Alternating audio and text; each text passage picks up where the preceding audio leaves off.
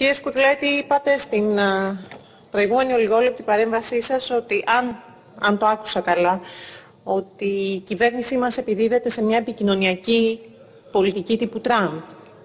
Αν το συγκράτησα καλά. Ε, προφανώς ξεχνάτε ότι ο δικός σας πρωθυπουργός, ο κύριος Τσίπρας, στεκόταν πολύ χαμογελαστός δίπλα στον κύριο Τραμπ και του έλεγε ότι είναι διαβολικός, αλλά για καλό σκοπό. Κυρίες και κύριοι συνάδελφοι, προφανώς ε, η πρόταση δυσπιστίας, την οποία σύρθηκε κονάκον από τις τελευταίες εξελίξεις και την δημοσκοπική κατάρρευση ο ΣΥΡΙΖΑ, είναι στην ε, πραγματικότητα μια κίνηση τακτικής του Αλέξη Τσίπρα προς το νέο του εκλογικό αντίπαλο, τον κύριο Ανδουλάκη.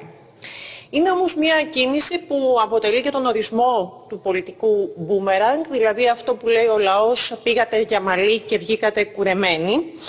Γιατί, Γιατί το πρόβλημα ε, του ΣΥΡΙΖΑ είναι ευθέως στρατηγικό. Και ως γνωστόν με κινήσεις α, τακτικής μπορεί να αλλάζει προσωρινά η ατζέντα, δεν επιλύονται όμως τα στρατηγικά προβλήματα. Να το πω διαφορετικά, ο κύριος Τσίπρας μπορεί να γλίτωσε για αυτό το Σαββατοκύριακο από τον πονοκέφαλο της ομπρέλας, της γέφυρας της μετεγκατάστασης των στελεχών του προς το κοινάλ. Την επόμενη όμως, την επαύριο δηλαδή, θα έχει πάλι μπροστά του και τον κύριο Τσακαλώτο και τον κύριο Φίλη και τον κύριο Σκουριλέτη. Αλήθεια, κυρίες και κύριοι συνάδελφοι του ΣΥΡΙΖΑ, έχετε άραγε σκεφτεί γιατί το μόνο κόμμα το οποίο βρίσκεται σε ευθεία δυσαρμονία με το αποτέλεσμα των εκλογών του 2019 είναι το δικό σας κόμμα. Έχετε προβληματιστεί γιατί για πρώτη φορά στα χρονικά κόμμα της αξιωματικής αντιπολίτευσης έχει μεγαλύτερη φθορά ακόμη και από αυτήν της κυβέρνησης που διαχειρίζεται αναμφισβήτητα τις πιο οξύες, πρωτόγνωρες και σύγχρονες, ταυτόχρονες κρίσεις των τελευταίων δεκαετιών. Η αιτία έγινε σε αυτό που με κινησμό έχει δηλώσει σαν υποβοκτό χρόνο η πρώην Υπουργός Εργασίας, η κυρία Χτσιόγλου, ότι η κανονικότητα δεν είναι ποτέ ευκαιρία για την αριστερά. Αυτός είναι και ο πυρήνας του στρατηγικού προβλήματος του ΣΥΡΙΖΑ. Ότι η χώρα ευτυχώς επιστρέφει στην κανονικότητα και τόσο περισσότερο εντείνονται τα διέξοδά σας και επιταχύνεται βεβαίως ο ρυθμός επιστροφής σας στην κοιτίδα του 3%, δηλαδή του πιο λαϊκίστικου κόμματος, του ευθέως διχαστικού, γιατί δεν ξεχνάμε το είμαστε ιών, ή τους τελειώνουμε, είμαστε ιώνουν ή εμείς ή αυτοί, ενός κόμματος που με τερατώδη ψέματα υφάρπαξε την ψήφο του ελληνικού λαού και βεβαίως φέσωσε τον λογαριασμό και τον ελληνικό λαό με 100 δις λογαριασμό. Και τώρα που μείνατε από αφήγημα, γιατί διαψεύστηκαν οι ψευδεστήσεις σας και όλα τα σχετικά, μένετε ξαφνικά και χωρίς ακροατήριο. Διότι κυρίες και κύριοι του ΣΥΡΙΖΑ, ακόμη και αυτοί που θέλησαν ενδεχομένως να σας δώσουν μια δεύτερη ευκαιρία σε εκλογές του 2019, βλέπουν δυστυχώς τώρα ότι δεν έχετε καμία απολύτως πρόταση για το παρόν και για το μέλλον.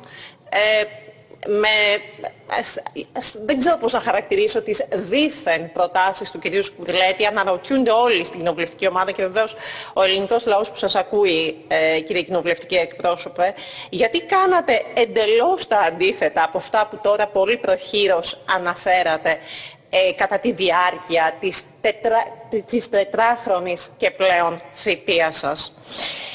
Δεν έχετε λοιπόν καμία πρόταση ούτε για το παρόν ούτε για το μέλλον της χώρας και επιχειρείτε να εκμεταλλευτείτε για μικροκομματικούς λόγους ακόμη και παγκόσμιες κρίσεις όπως αυτή του κορονοϊού κατέχοντας το μοναδικό πλεονέκτημα σε όλη την Ευρώπη να αντιπολιτεύεστε μία τέτοια πανδημική κρίση.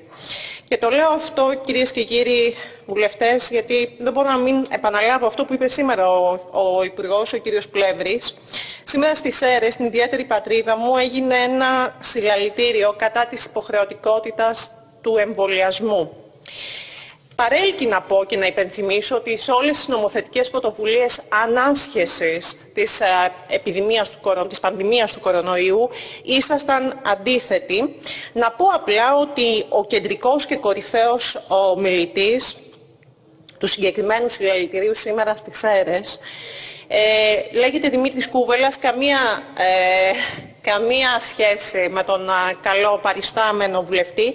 Είναι ο πρόεδρος της Επιτροπής Αξιολόγησης και Αποζημίωσης Φαρμάκων Ανθρώπινης Χρήσης που το 2018 διόρισε η κυβέρνηση του ΣΥΡΙΖΑ. Είναι αυτός στον οποίο ο, ο κύριος Πολάκης δίνει τη στήριξη παρά τις συστάσεις του ΣΥΡΙΖΑ είναι αυτός με τον οποίο συμφωνεί στο αντιπολιτευτικό κρεσέντο του ο πρώην αναπληρωτής Υπουργός. Τα ίδια, τα ίδια λαϊκίστικα τις τελευταίες εβδομάδες και με τον εισαγόμενο πληθωρισμό.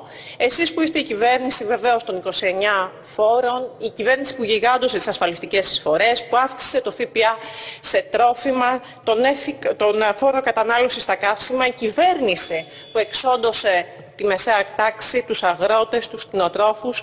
Η κυβέρνηση που απέδιδε την αύξηση τιμής του πετρελαίου στις θεμελιώδεις νόμους της αγοράς και τώρα μιλάει σαν να μην έχει ακούσει καν για την αύξηση διεθνών τιμών του φυσικού αερίου και του πετρελαίου που έχουν οδηγήσει σε όλο αυτό το σπιράλ αύξησης τιμών, σαν να μην έχει ακούσει για το 1 δις 300 εκατομμύρια που ήδη έχει δώσει η κυβέρνηση και τα 400 εκατομμύρια για την ενεργειακή κρίση που μόλις τις μέρες ανακοινώθηκαν. Πολιτεύεστε ως διαμαγείας να έχει εξαφανιστεί η πενταετία 15-19, γιατί τι άλλο μπορείτε να κάνετε αφού στην κανονικότητα στην οποία επιστρέφει ευτυχώς η χώρα δεν τα καταφέρνετε.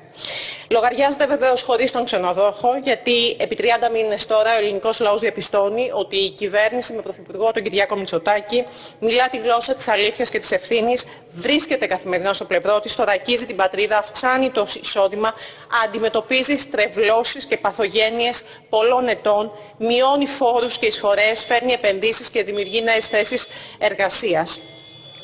Η πρόταση της πιστείας λοιπόν εντάσσεται σε μια μάχη χαρακομμάτων του κ. Τσίπρα να περιορίσει τις διαρροές προς το Πασόκ και να διατηρηθεί χωρίς ιδιαίτερη εσωτερική αμφισβήτηση στην Προεδρία του. Δεν έχει καμία όμως σχέση με τα πραγματικά προβλήματα και τη ζώσα πραγματικότητα, γιατί είναι χαρακτηριστικό ότι μία ώρα μετά την υποβολή της πρότασης δυσπιστίας, ε, ο, μεγα... ο CEO της μιας από τις μεγαλύτερες τράπεζες της JP Morgan διέβαινε το κατόφλι του Μεγάλου Μαξίμου, δίνοντας ψήφο εμπιστοσύνης στην ελληνική οικονομία και στις προοπτικές της.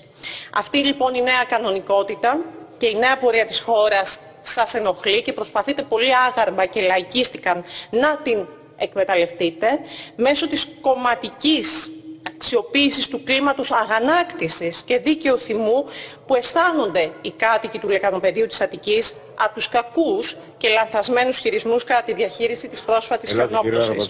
Τελειώνω κύριε Πρόεδρε, ευχαριστώ. Ο Πρωθυπουργός, κυρίες και κύριοι συνάδελφοι, ζήτησε ειλικρινή συγγνώμη για αυτό που συνέβη τις τελευταίες μέρες και για το οποίο είμαστε όλοι βαθιά προβληματισμένοι.